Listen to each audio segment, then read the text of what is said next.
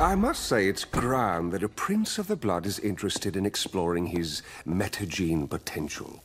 Why have you brought me to a morgue, Doctor, in a children's hospital?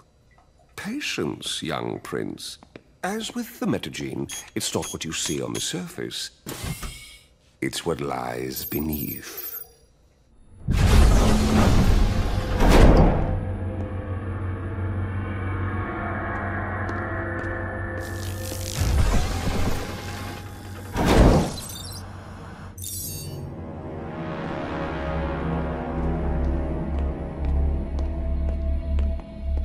What?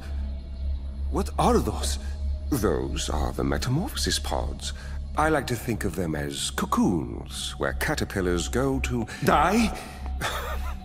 I was going to say to become butterflies, but the process can be a bit hit or miss. You're traffickers. Stealing sick children from a children's hospital. They're not all sick. How many children have you taken? How many have you murdered? You're upset, I understand. But allow me to explain. No!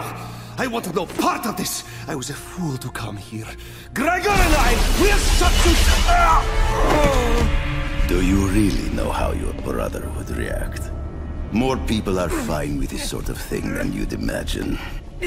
Sedate him. Stop! I order you to... have you done? I thought... You thought you'd expose our operation to the royal family. Drag him in here.